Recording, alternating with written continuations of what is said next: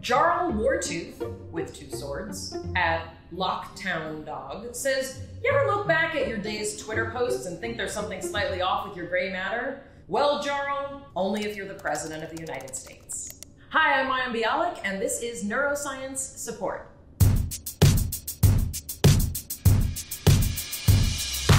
Alexandria Friesen, at Lexi Friesen, asks, At what point is a guy's frontal lobe fully developed? With many question marks. I want to use this knowledge as a gauge for when to give them a 17th chance and when to just throw the whole man away. Well, Lexi, the frontal lobe should be developed in the late teens or early 20s if we're lucky, but sometimes by behavior, it just seems like it doesn't happen. I'd say if you're looking at a 17th chance, throw the whole man away. Or woman. D at Bellicosavand says, one thing that does bug me is this thing called Capgras syndrome. Like, how do you actually know that the things around you haven't been replaced with an exact copy? Well, D, that's the point. Capgras syndrome is a delusional psychiatric disorder where you actually believe that someone close to you is a replica and not the actual person. It's a very, very, very specific, unusual existential crisis of a disorder. And the fact is, you really don't know. Robin Richardson at Robin underscore R underscore R says, Can Stendhal syndrome kill you? Well, Stendhal syndrome is a syndrome of both physical and emotional features. Typically, when seeing something of tremendous beauty. You have a rapid heartbeat, you can faint, you can have hallucinations. Robin, I don't think it can kill you, but it sounds like you might be in love. Enjoy.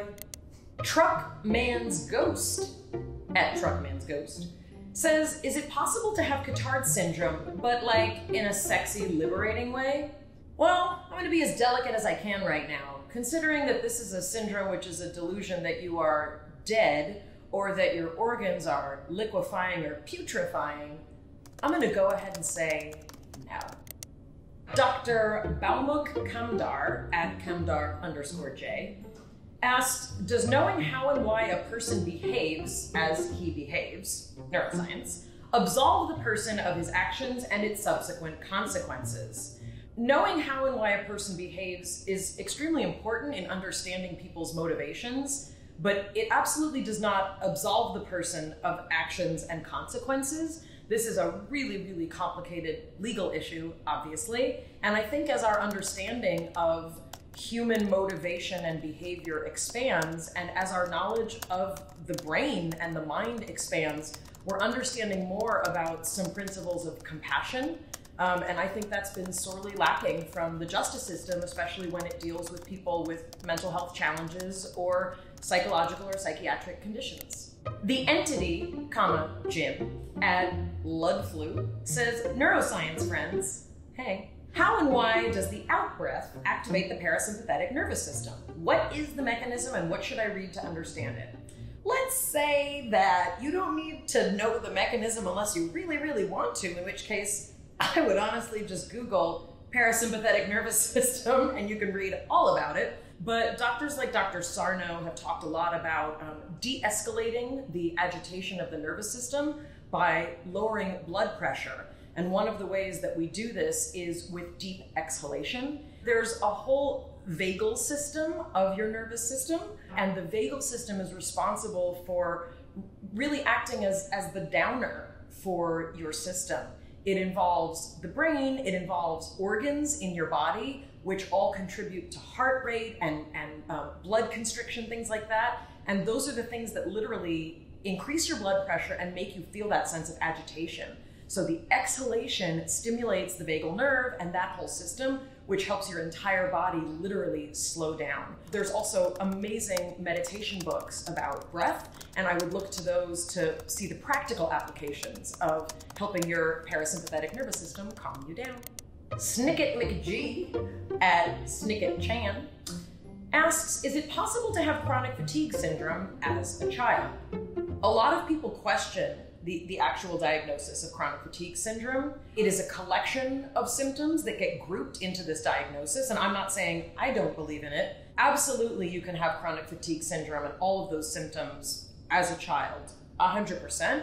But also, from a clinical perspective, you'd really want to look to what are the other factors in a child's environment that are leading to those symptoms. There is a huge psychological, environmental component to all of these kinds of diagnoses, whether in adults or children. So I would actually look to address those first.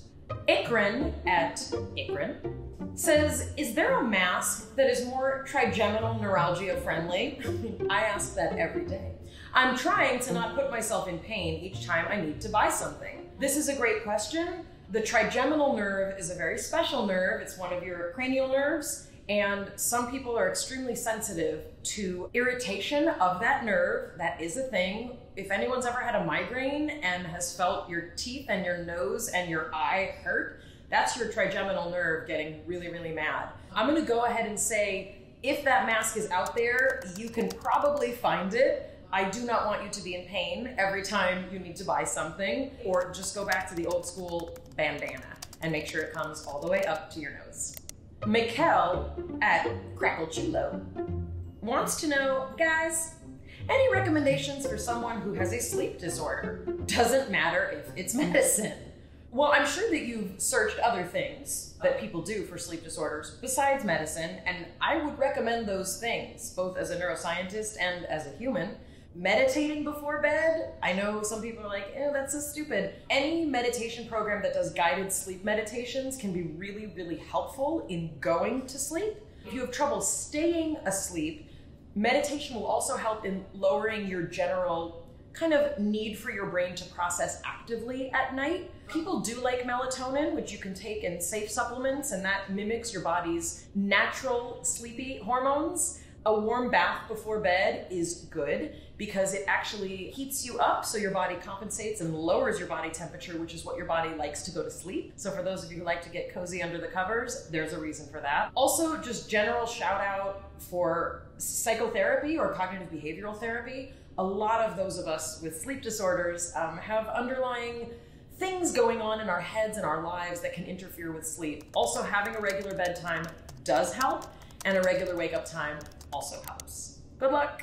Two fan at Mortaza underscore MQ says, Is social media responsible for sleep disorder in most of the cases? I'm gonna say no, but I haven't done the research. As a scientist, I'm gonna go ahead and remind you that most of means more than 50%. Social media can do two things that can interfere with your sleep. One is it can keep you up later at night than you should be. It can make you have too much interaction with light before sleep because you're checking it before sleep. The most important thing that social media probably interferes with sleep through is filling your head with all sorts of information, a lot of which is probably not necessarily useful. The human brain has not changed in the last 10 years versus hundreds of thousands of years of evolution. We do need a lot of downtime and we do need boredom. And social media has kind of removed our ability to have downtime and boredom, which are good for the brain and also do contribute to healthier sleep. Notorious OMG with a heart at Secret Diary Mom, what's the best time of day to switch from uppers to downers? Asking for my neurotransmitters. Well, Secret Diary Mom, your neurotransmitters pretty much know what to do without you adding anything to them. So I would say stop drinking caffeine after noon or one or two o'clock, that's an upper. And in terms of downers, I hope you mean nap time and meditation. Thanks, Secret Diary Mom. Iman at why not Iman underscore says, being tired all the time is such a mystery. Is it anemia? Vitamin D deficiency? Chronic fatigue syndrome? Depression? Insomnia? Is it just the crushing weight of being alive in a capitalistic society? Someone cure me, please. Well, I'm going to go for crushing weight of being alive in a capitalistic society. But there are tests for anemia, for vitamin D deficiency. We do have a way to assess if you have chronic fatigue syndrome. Depression and insomnia, those are likely because of the crushing weight of being alive in a capitalistic society. So I'm tired all the time too. Phoebe Luckhurst, at Phoebe Luckhurst, says, Can anyone please help with some insights into what games like Candy Crush do to your brain? All my neuroscientists are rejecting my advances. Well, Phoebe, this neuroscientist isn't rejecting your advances. I'll be happy to tell you. They're filling your brain with random pieces of candy that you have to, I don't know, make rows of so they disappear. Candy Crush is wonderful for distraction. It is mindless fun. It's like candy. It doesn't really have any nutritional value, but it sure feels good when you put it in your mouth and eat it. In all seriousness, Candy Crush is asking your brain to do a lot of non challenging computation while also distracting you from um, anything that's going on in reality, which means, like any good drug or bad drug, you should use it for good and not evil. Good luck! Ching.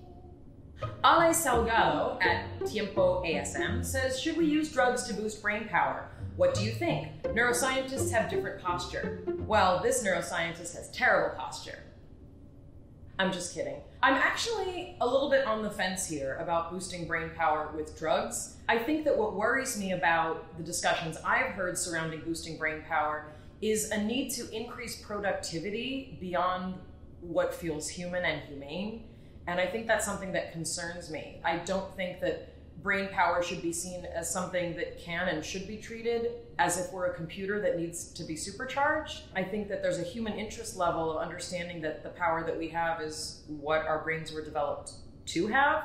And on the other hand, we have the ability to create drugs that can enhance that. And are there safe ways to do that?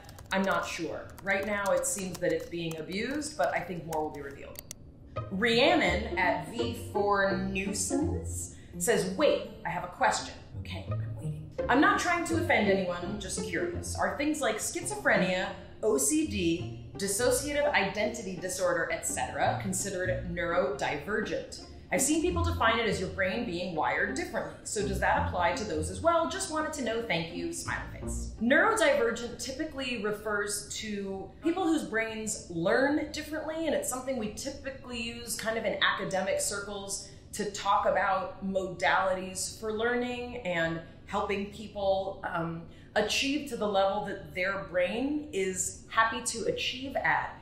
Things like schizophrenia, OCD, dissociative identity disorder, those are examples of the brain not necessarily being wired differently, but we do know that there are, there are genetic differences. For some forms of schizophrenia and OCD, DID is usually there's likely a genetic component and also environmental impacts, but these are things that are um, more about the way you are genetically coded rather than the notion of being wired differently. So I like to think of neurodivergent as wiring in terms of learning and those other things in terms of diagnostic psychiatric criteria.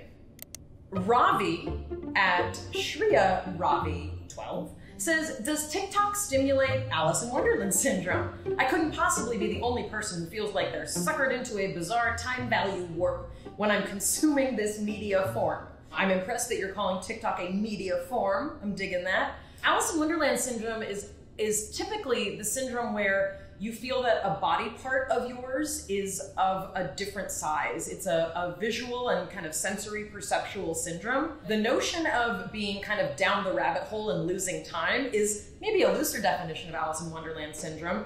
And I would say you're absolutely correct. Things like TikTok and those kinds of media forms do absolutely suck time away. And much like video gaming, you can pass a lot of time without knowing the time has passed. So you are absolutely right. TikTok makes you feel like time goes away. Dr. Koch at Red Stocking Lady says head hurting from caffeine withdrawal or growing dendrites. Caffeine withdrawal will absolutely make your head hurt. It'll also make you really, really grumpy. Growing dendrites, which are the uh, the extensions of neuronal processes that communicate with other neurons, is not typically something we feel. But if you're quitting caffeine, your dendrites might be really, really grateful since caffeine's not so great for your brain, especially in large quantities. So it could be your dendrites saying, like, you've abused us for too long. We're going to make your head hurt as we stretch ourselves out. Sieva Kaczynski at Sieva Kaczynski, says, What increases the possibilities of multiple sclerosis? Does smoking marijuana break down axons? Multiple sclerosis is a, a genetic disorder which does cause the demyelination of axons. Axons are the things that connect the cell body to the parts of the cell that communicate with other cells. And they are lined, axons are lined with essentially fat. That's why we need to eat fat and cholesterol. But in multiple sclerosis, this fat starts to break down and the axons can't communicate information rapidly because fat is a great insulator for moving information quickly, especially of an electrical quality.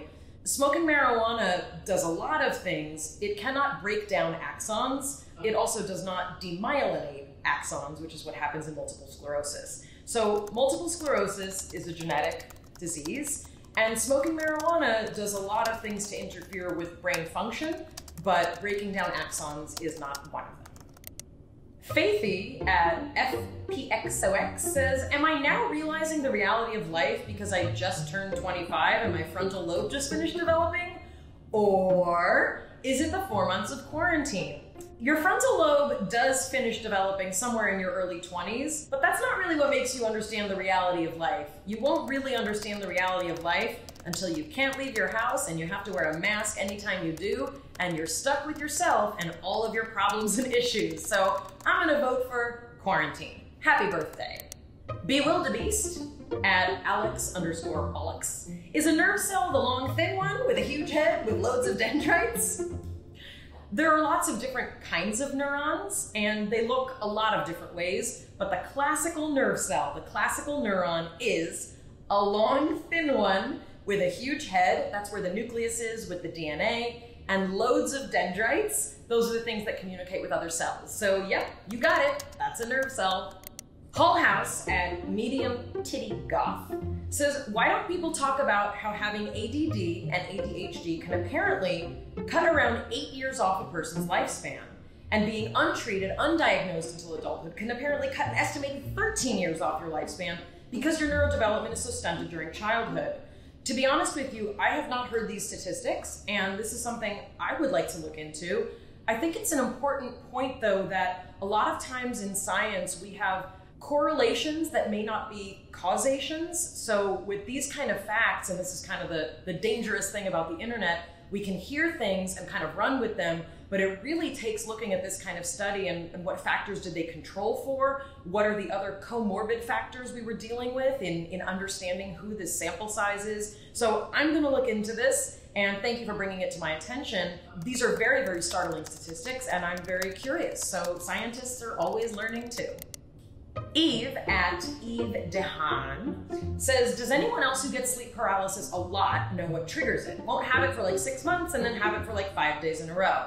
Sleep paralysis is pretty much what it sounds like. It's usually when you're in a half sleep state and your body cannot move. You often have cognition, meaning you want to move. You are not asleep. It's not a dream. It's somewhere in between. And there have been studies done showing the, the brain waves are literally kind of caught in between it can be very, very terrifying, very scary. I would look into what's going on in terms of maybe speaking to a, therapist or, or a cognitive behavioral therapist to see if there's a correlation. There may be food triggers, environmental triggers, and sometimes a cognitive behavioral therapist can give you words and cues that can help you come out of that state quicker. And good luck.